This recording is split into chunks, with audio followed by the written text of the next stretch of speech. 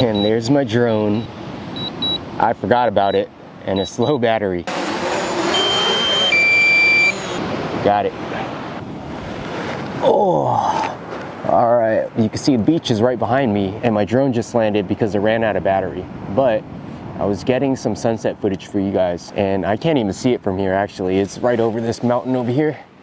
See, there's a big mountain over there. I can't even see it, so I don't, I don't know what it is, but you guys will see it in a sec. But I'm exploring new spots today and I'm actually gonna car camp, car camp along this beautiful coast. And tomorrow I'm gonna fish for some rockfish out here somewhere. Uh, probably a spot that I've never been to before. I'm excited, man. I'm super excited. But here we go. Check out this sunset footage.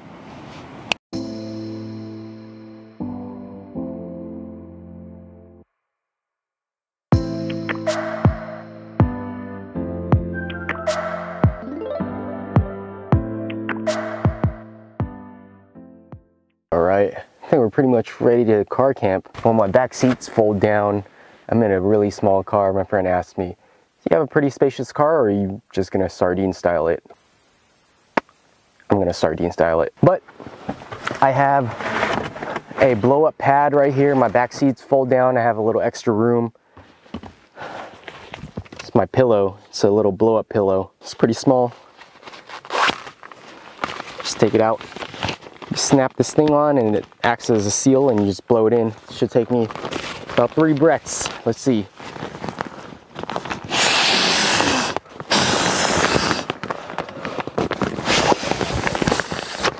There you go. Snap that back on. And I got my pillow. Should be relatively comfortable. I hope. I don't really like car camping, but I'm trying to get out here super early tomorrow and explore some new places. New fishing holes that I've never fished before, so that's what we're doing. I have my headlamp, this by Vont. They have this Spark headlamp, that's pretty cool. They sent this to me. Have a red light for me so it's not too obnoxious. Three settings for the red light. You could also hold it to turn it to a, you know, bright light, bright white light.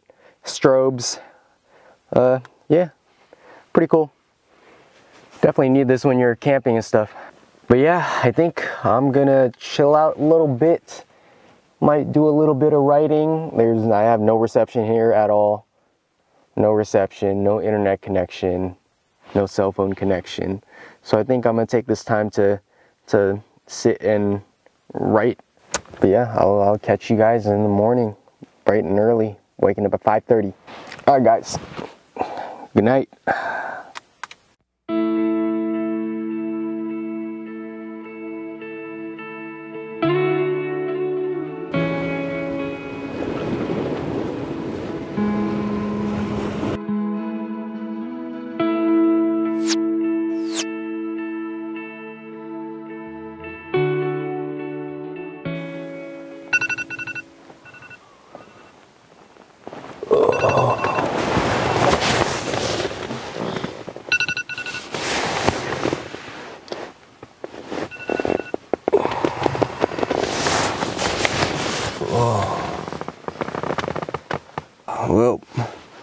Not gonna be doing that again.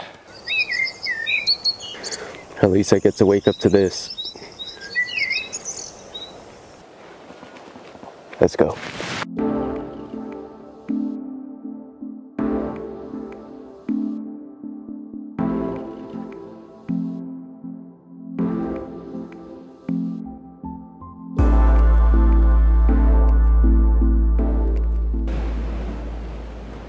Made it to the spot.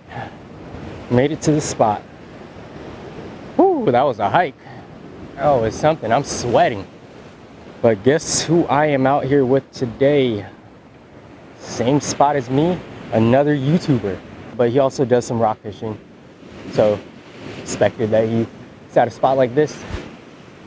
He's an expert at baiting. So he has named himself the master baiter.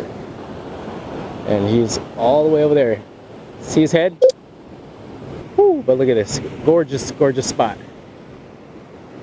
Wide open ocean, surrounded by rocks.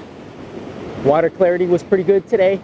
Look, you can see those starburst sea anemones right there pretty clearly all bright and green in there and I have a selection of swim baits here what kind of candy bar should I choose right there let's get fishing and here we go first cast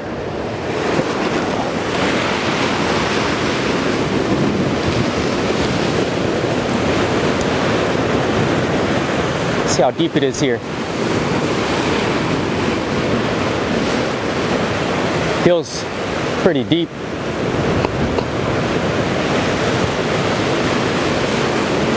Still dropping.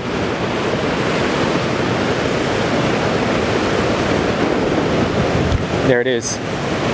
That's at least 20 feet. So what I like to do when I first cast is try to make a mental map of what I feel down there and the structure. See if I can feel any rocks and bumps along the way. It's a little rougher than I'd like today.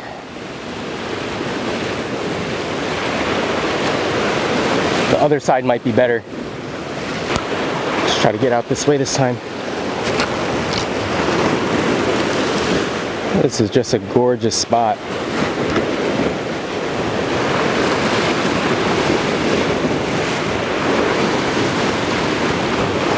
a lot of seaweed right there. Dang, not a good spot. All right, I, might have to move spots. There's a lot of seaweed right here.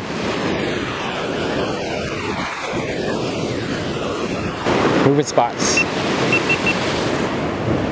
But at least I have a, a map, what I know and what I feel, and what I feel is either a good spot or not. Let's move.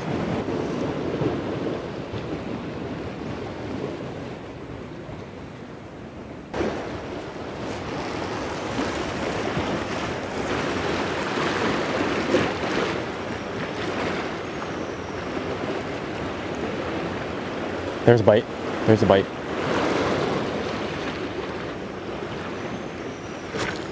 Ooh. Yep. S small though. Probably blue. All right, switched it up to a weedless swim bait. I'm reusing this one. I've, I've already used this one before. So it's not, it's got bit before. 30 pound line, probably about three and a half feet to my camera. I know guys, I know. I can't, I can't, I can't resist man. The water's too clear and I know there's fish down there. Turn this baby on. I just gotta see. 65 pound mainline braid to a snap swivel to my camera and then 30 pound mono tied straight on to each end. Let's go out this way.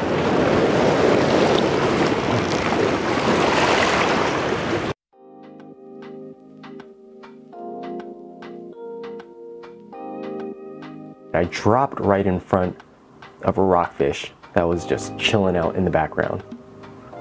One thing that I noticed when I looked at this footage about this drop is the abundance of sea urchin that you see here.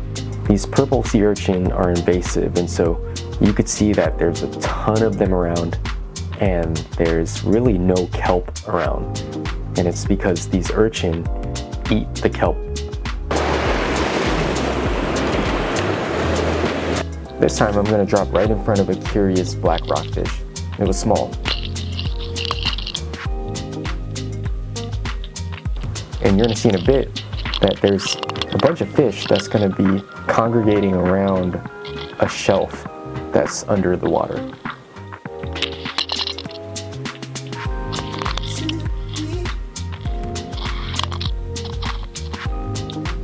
Nice little cove for little rockfish to be in though. I know there's little fish down there. Just, I'm just wondering if there's a lingcod down there. That's really what I'm wondering.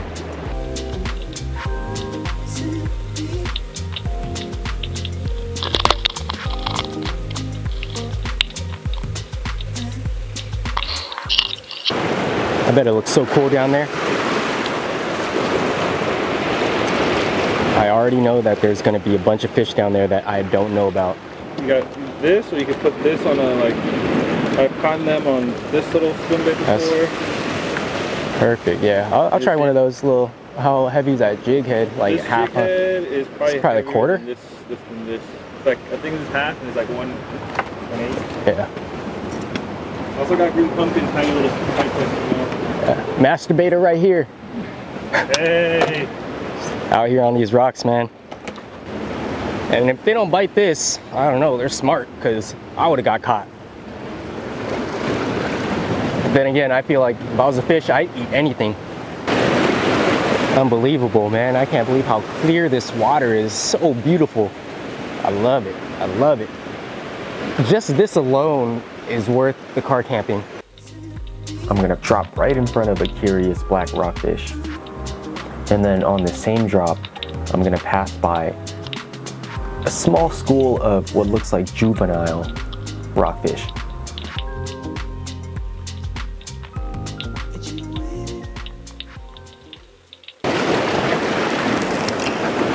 Just trying to get some underwater footage and then I'm gonna do some real fishing. Throw on some big baits, go for some big fish. Hey, here we go. This is where the real fishing begins. Let's see what time is it. It's almost 9.30, so it took me about two hours to get really fishing, but I'm using the Master Baiter swim bait right here. It's like a green pumpkin, seven inch swim bait. Got two hooks on it, both weedless, one trailer hook. I just tied on small little leader that's on the original hook on the belly and this hook is going through the tail so if it nips at the tail hopefully gets hooked up too. Using two ounces right here.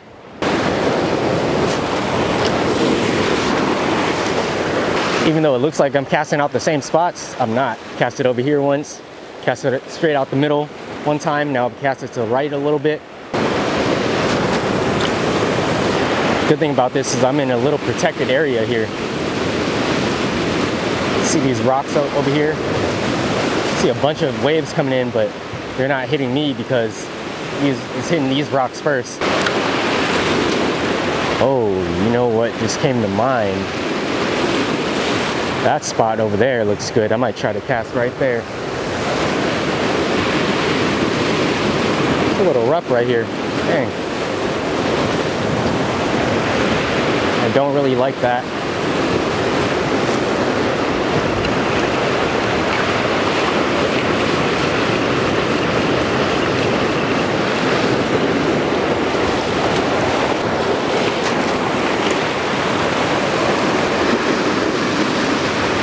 Like I said, that spot looks good.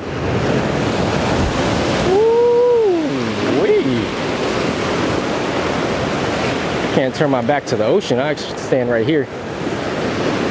That one looks like it's coming in.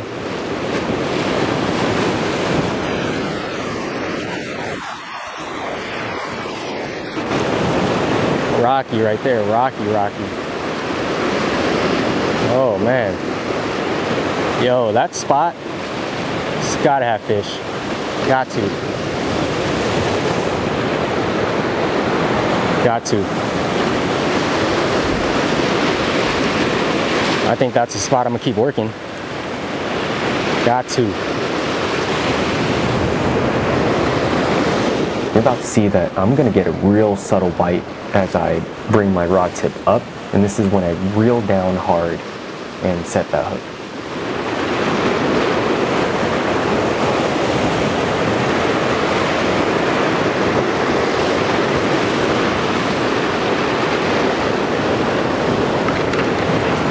Got one.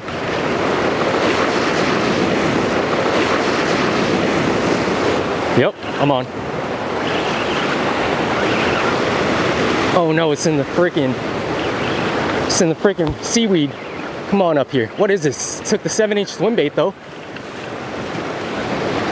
Smalling. Small lingcod.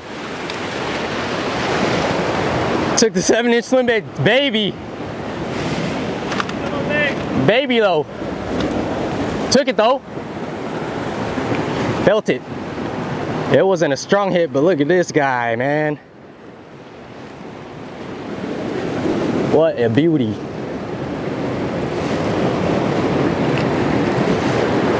Look at this.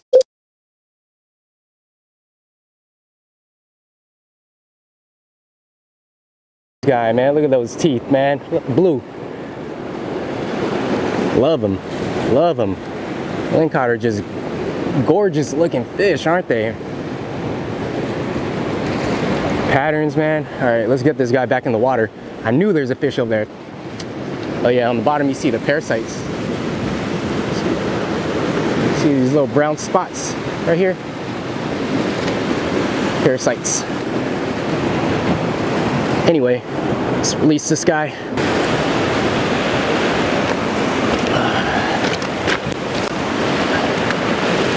Just throw him in this little pool. See how cool they swim. Look at that, he's gonna get pulled out too. Right there. So cool. Love it. Let's get another one, baby. Look at this. Did not realize this, but that lingcod just spit up this bait here. Looks like looks like fish for sure. This one's like a tiny baby rockfish. It looks so fresh too. Probably just ate it. This one looks like a digested fish. Pretty cool. It's not not that big. The size of my finger. Look at that. All right, y'all. You guys ready for this? Let me show you guys what I'm switching to right now. I'm gonna switch to some bait. Not just any bait. Oh. Not just any bait. Jumbo squid right here.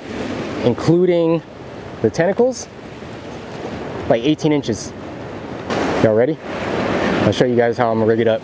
Three-way swivel to a main line, 65 pound test, tied on about a foot and a half, two feet to my weight, three ounce sinker, and then snapped on my hooks. This is like a live bait hook, live bait rig. Big old treble hook hooked to the top, and then snelled on is a three aught octopus hook that I'm gonna put right here.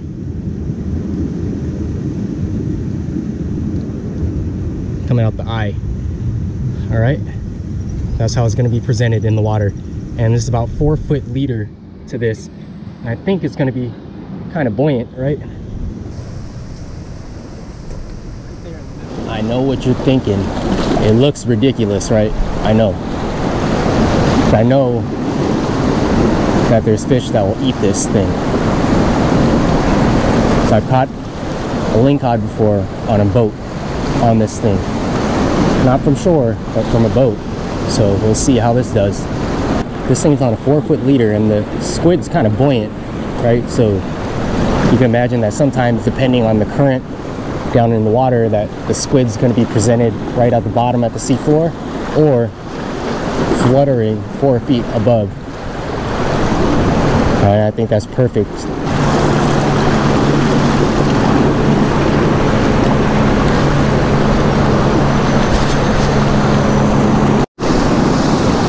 A little impatient here. I got some uni though. This urchin probably tried to eat it. Check this out. You ever seen an urchin extend his mouth out like that before? I haven't. See if I'll show you his teeth.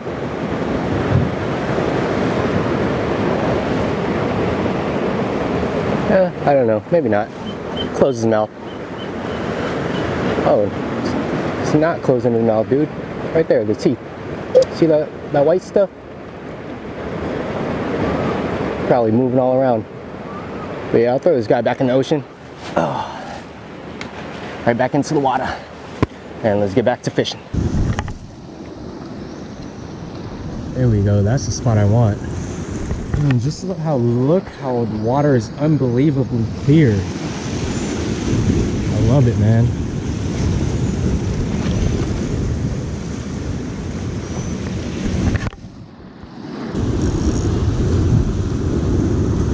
Losing my drag right now, so if a fish gets it, I'm gonna step away from my pole for a sec.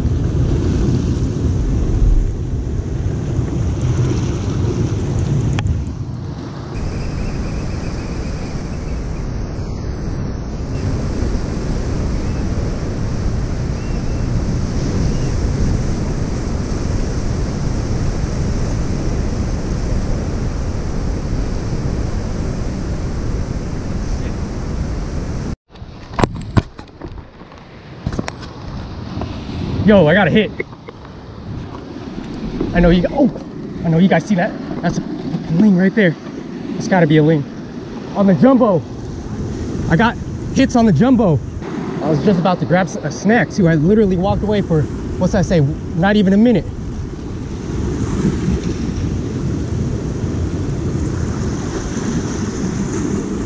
It let go.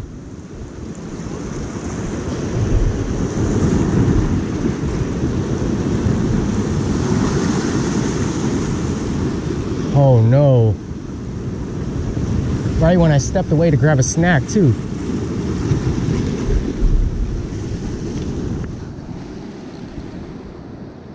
Damn.